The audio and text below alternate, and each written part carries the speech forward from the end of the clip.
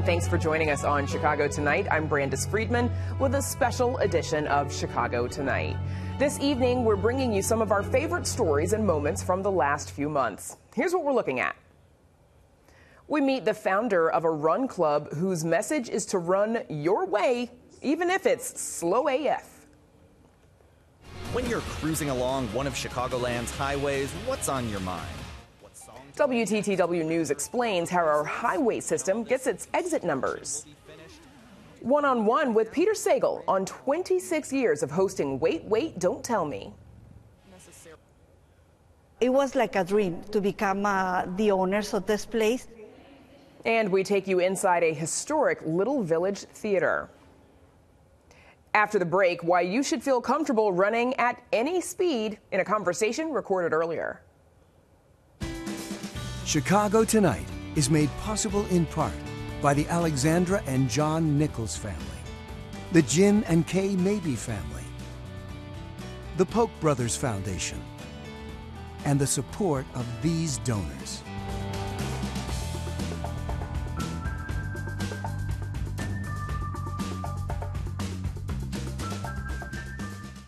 Chances are you've already spotted several of these today runners. The popular physical activity app Strava says running was its most uploaded sport of 2023. But with a growing number of recreational runners, questions about inclusivity have also risen. Our next guest says he didn't always feel welcomed in the sport. Now he's got a book to make sure everyone can get in on the run. It's called Slow AF Run Club, the ultimate guide for anyone who wants to run. And joining us now is author and eight time marathoner, Martinez Evans, who also started the online community, the Slow AF Run Club. And I'm sure that AF stands for Always Fun or Slow and Fun Run Club. Slow and fabulous. That's it. Martinez Evans, thanks for joining us. Good to see you. Thank you for having me. So, uh, you often tell the story of how you got started with running.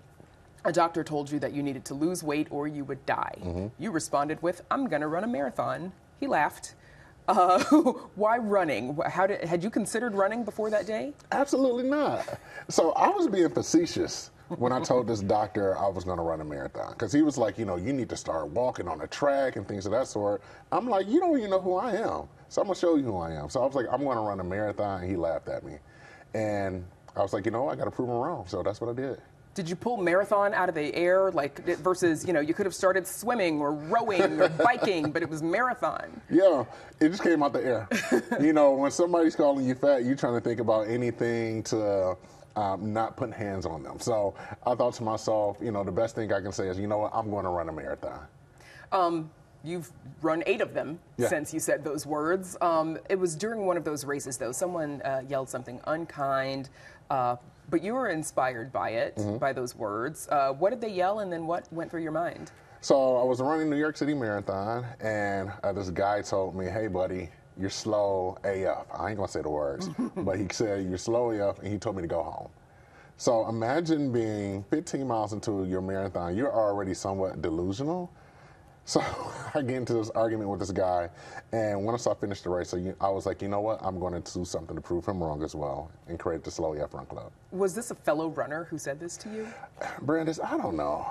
it doesn't matter. I don't know. This dude was on the side of the course with a beer in hand. So not likely a runner with a beer. Nah. not not running in the race with you though. Exactly, not running in the race with me. Okay. Um, since starting the Slow AF Run Club, and of course you've written your book, with you brought with uh, you brought to show us today. Um, your story has, of course, been widely shared. You mm-hmm. have uh, done, uh, you've been the cover story for Runner's World magazine, a nude photo shoot with Men's Health magazine. Um, what does it mean to you to have your story and your image, you know, shared on these platforms and associated with this sport? I think for me, it's, it's a, definitely a big move because when I started running 10 years ago, there was nothing out there that looked like me. So now that I'm out here and be able to show people that they can be active in the body that they are right now, they don't have to worry about changing their body. It's really is just so much uh, for me to just be that beacon of hope for people out there. What, what is it that you get out of out of running besides you know giving to the members of your club and giving to others? What do you get out of it? So running changed my life. Running gave me life. Running gave me something where I didn't necessarily think I was going to even be here on this earth. Running has given me the opportunity to travel around the world. Running has given me the opportunity to chat with you. So running has given me everything. We're doing okay. Yeah. um, it's also running has also been sort of a mostly white-dominated sport, Mm-hmm. right? Despite you know some very famous black people who we can all name who are runners, Right, like right, Sha'Carri right. Richardson and uh, Allyson Felix, Usain Bolt. They're all you know Olympians, but also um, they're faster runners, shorter distances, Mm-hmm. right? Um, in track and field. Um, why do you think more black people aren't into running, and especially long distance running? I think that's a great notion is that it really comes back to diversity. I know growing up as a little black boy in Detroit, nobody that I ever knew ran long distance. Everything was track, 100 meters, hurdles, things of that sort. I didn't even know what um, long distance running was until I even got into this thing. So I think it's one is awareness thing, um, but I also think that it goes deeper than that, right? It goes deeper to how in the neighborhoods we just don't we just don't have that um, that encouragement to do that. Yeah. Okay, so a matter of, of, of encouragement. Um, do you think you've had an impact on that, on, on getting more black people into the sport? I hope the seems so I'd have. Yeah. Yeah. Have, like in all of your travels, like have, what have you noticed in the people that you see and that you get to meet? Oh, yeah. I, I think that when you're thinking about me traveling, I've been on a 50 day book tour. So I've seen various groups um, and various run clubs who, who have popped up, and they're majority um, people of color. So I think about here in Chicago, shout out to Peace Runners. Also think about uh, the Tortugas, you know. Um, and when you think about Detroit, you think about Rerun 313. So there are definitely various hubs of black men and women who are also starting to run. And I think these neighborhood uh, clubs or crews, what you want to call them, be, is great for the community to get more black folk out there. Some people get into running as a matter of weight loss or weight management, Mm-hmm. um, and you've said it's never been about weight loss for you. Um, you know what else? When you're out running, you know what is what does it what does it do for you? What does it mean for you? What are you? Why a marathon? I always joke that like, oh, a marathon, you run 26.2 miles to finish about three blocks from where you started. you didn't get very far. what do you get out of out of that long distance? I get a lot of things. I, I think first things first is the satisfaction of proving people wrong. It's something about showing up to the finish line and somebody look at me and look at my size. And it's like, oh, this is your first time, and it's like, nope. This is number eight, number nine, number ten. Um, the other thing is that the process of the process of training for a marathon, right? You can't BS a marathon. You know, the guy who even started, who even ran the first marathon, died, right? So there is a lot of hard work and dedication to go with that, and I think that mindset that goes along with the repetition, uh, the repetition and training of marathon training makes me a better person. Um, your book is it's part memoir, part guide for runners. What's something that you wish that you knew when you first started out? So, funny story. Um, one of the things that I wish I would have known when I first started out is this product called Body Glide. This thing, you Write put that on, down, Yes, people. put it down. Body Glide. You put it on all your moving parts, all your bits and your bites that move and rub together, and it will prevent what I call the chafe monster. So you go out there and you're running and you thinking, oh, I'm good, and then you go take a hot shower and you feel like you've been cut by a thousand Ouch. razor blades. so I wish somebody would told me about Body Glide a long time ago. Do you find yourself dispelling any myths? For example, like you know the, the name of the club, Slow AF, right? Mm-hmm. It kind of like I- mean, if, even for me, an inspiration is it's okay to be slow. Yeah, It is yeah. okay to be at the back of the pack. Mm-hmm. Yeah. Tell me people. so, so let me give you some game. Most races are permitted as a parade. Let that sink in. So there's no such thing as a race permit. There's only a parade per- permit. So once you get the elite athletes out the way, the people who are actually competing for money, all of us are participating in the parade. So there's last time I checked, I ain't never seen a Santa Claus float try to beat out a Mickey Mouse float in the parade. Like everybody's doing their thing and enjoying the journey along the uh, to the finish line, and that's how I see ra- uh, running races. Sounds to me like an excuse to get dressed up. Exactly. Like put on something fun when you go for that run. right. Um. Last question, you know, before we let you go, what do you hope people take away from your book and from your experience? Uh, one of the things I hope that people take away from this book is that they can do it. They can run. They can do whatever they want to be, right? Like my story is about running, but this book and my story is really about proving the odds wrong and letting you know that you can do anything in your body. All you have to do is get up and start. Okay. Martinez Evans, thanks so much for joining us. Good to see you. Thank you for having me. You bet. Eight minutes go by fast. Again, the book is called Slow AF Run Club, the ultimate guide for anyone who wants to run. And we're back with more right after this.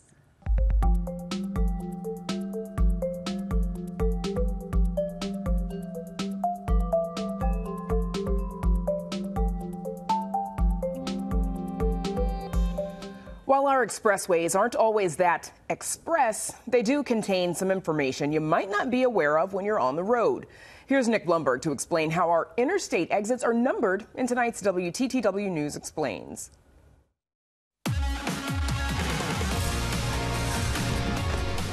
When you're cruising along one of Chicagoland's highways, what's on your mind? What song to play next? Where the nearest burger place is? When all this construction will be finished? Do you ever find yourself wondering how all the exits got their numbers? It's relatively simple, but not necessarily intuitive. For interstates in Illinois that run north south, like I 55, the numbering system starts at the southernmost point the highway enters Illinois. For interstates running east west, like I 80, the numbers start at the westernmost point. A lot of times, the very first turnoff is exit 1, but the next one isn't necessarily going to be exit 2. That's because the numbers correspond not to how many exits there are, but to how many miles away from the border they are. So, by following the exit sign numbers, you can actually track how far you are from the state's boundary line. Sometimes things get a little tricky. Where two interstates merge, the numbering system for one supersedes the other. For example, if you're heading downtown along I 90 where it meets I 94, the exit numbers jump from 84 down to 44. Which brings us to one more wrinkle in the system. Around the city, I 90, that's the Skyway, Dan Ryan, Kennedy, and Jane Addams, and I 94, or the Kingery, Bishop Ford, Dan Ryan, Kennedy, Edens, and the Tri State Tollway, mostly run north and south. But the signs all say east and west. What gives? Well, don't forget about the inter part of interstates. Our highways are part of a nationwide system, and 90 and 94 broadly run east west across the country. They've just got to curve around pesky old Lake Michigan to carry on their merry way, so they move north south through the Windy City. So, the next time you find yourself stuck in bumper to bumper traffic, you may not know how long you'll be sitting there, but at least you'll know how far your bumper is from the border.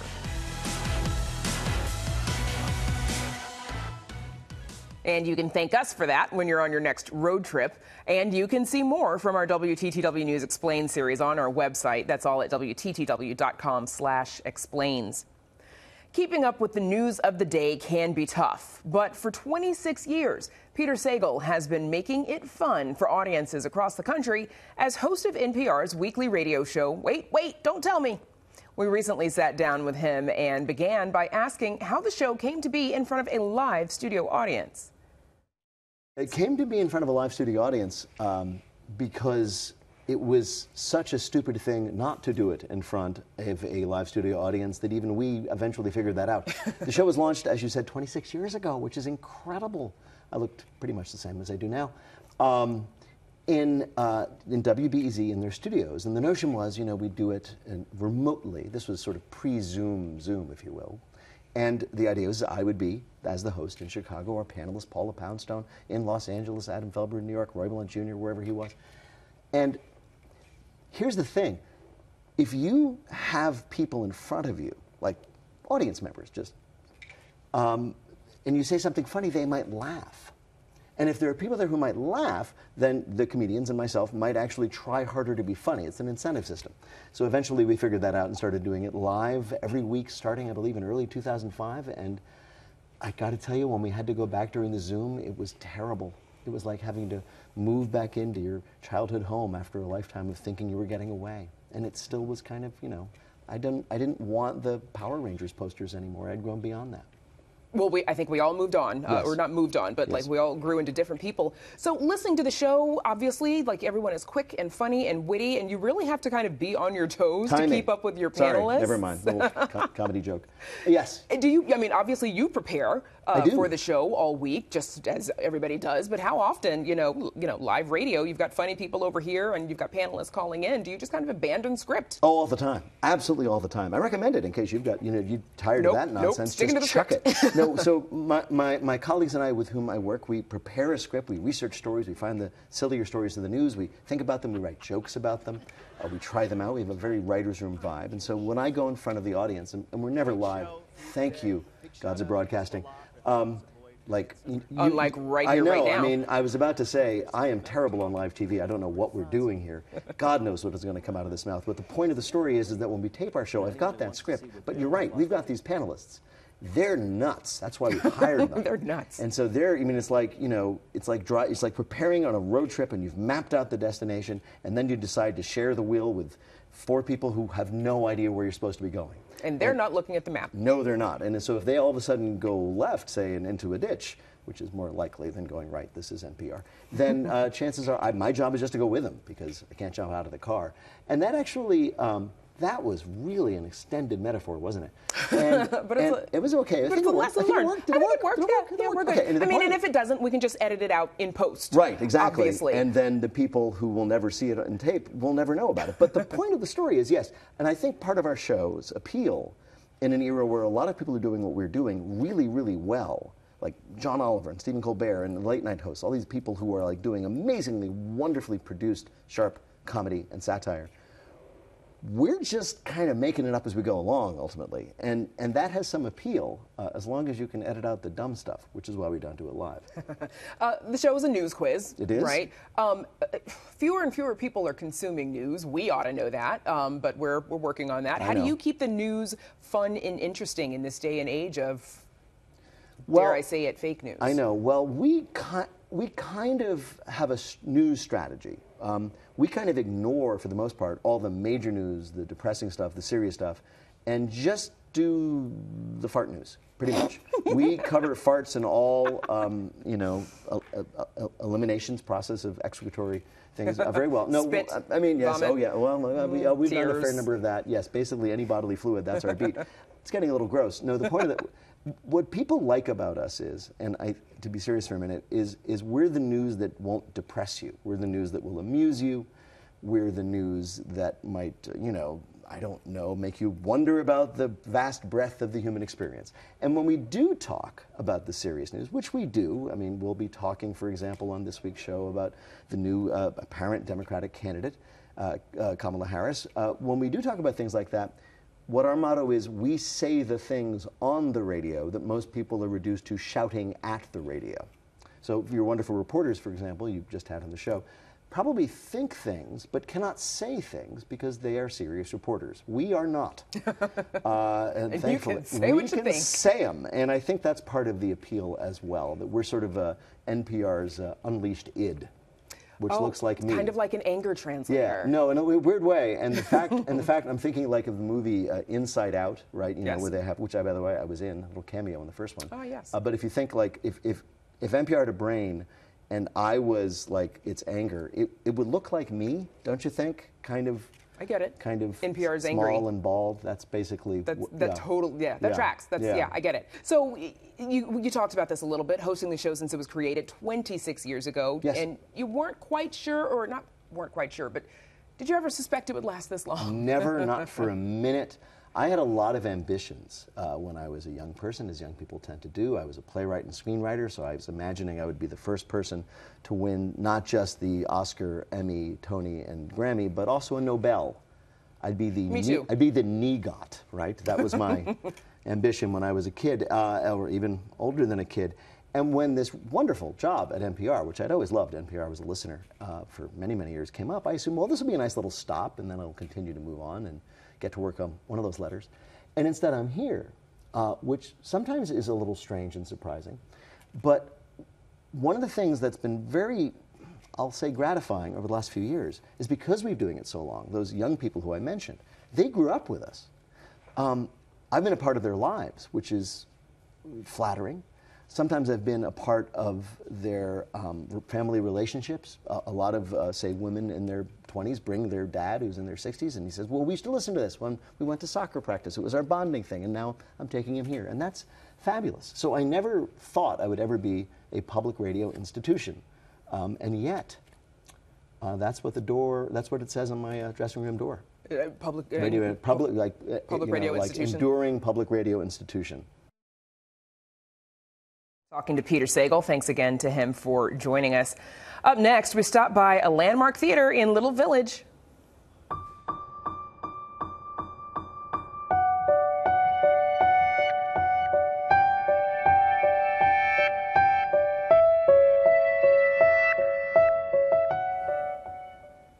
If you've ever visited Little Village, it's hard to miss the Apollo's 2000 Theater, which is now one of Chicago's newest landmarks.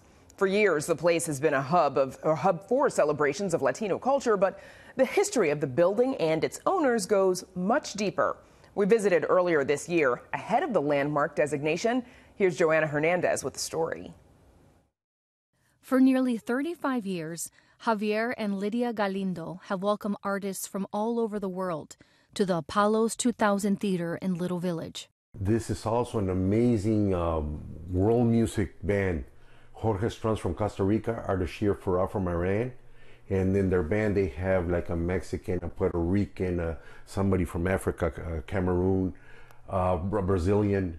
Just an awesome guitar uh, duet. They've also hosted politicians from all levels of government. The biggest event was a, a gathering for Al Gore when he was vice president, when he was running for president. and gathered community members for wrestling, fashion shows, and quinceañeras.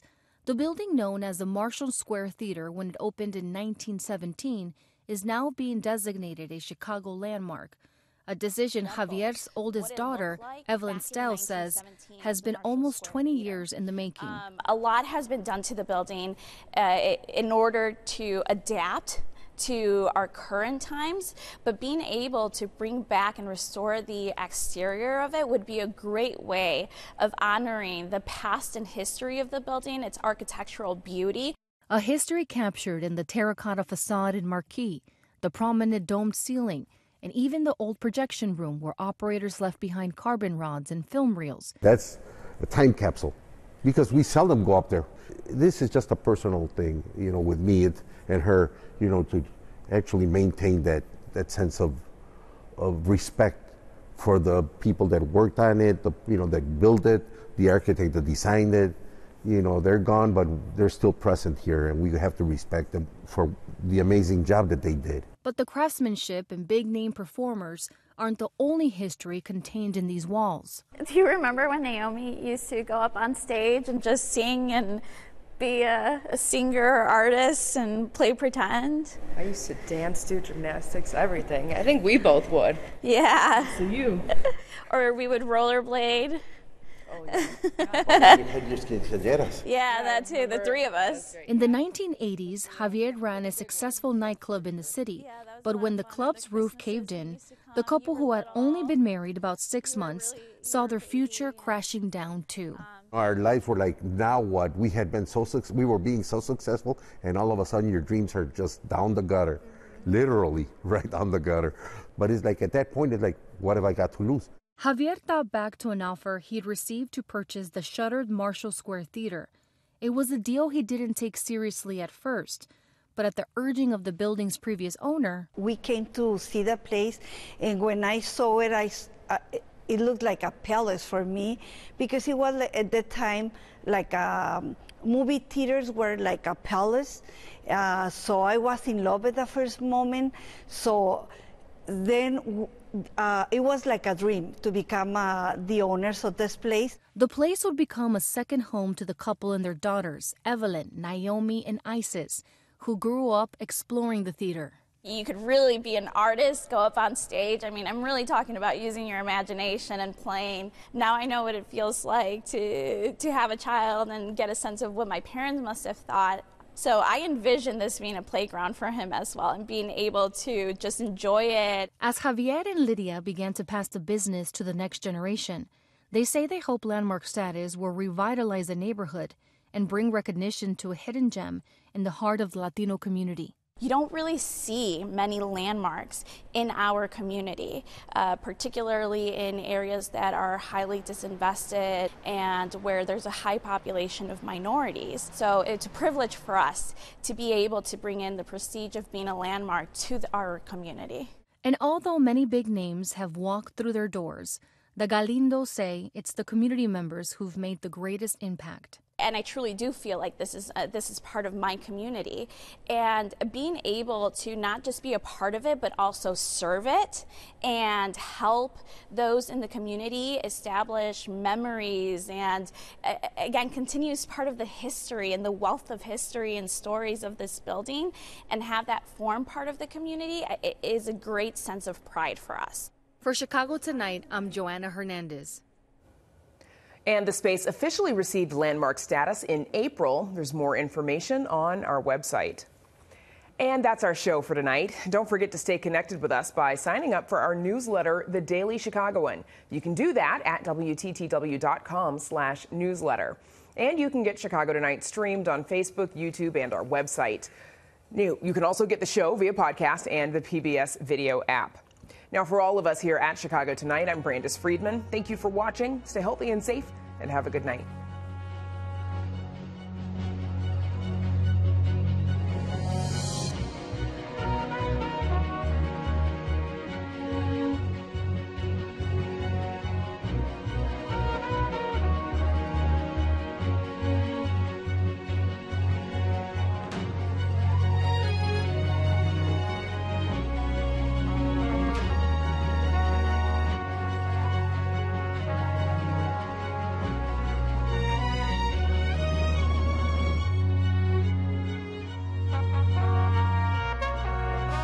Closed captioning is made possible by Robert A. Clifford and Clifford Law Offices, a Chicago personal injury and wrongful death firm that is proud to give back to its community in Chicago and beyond.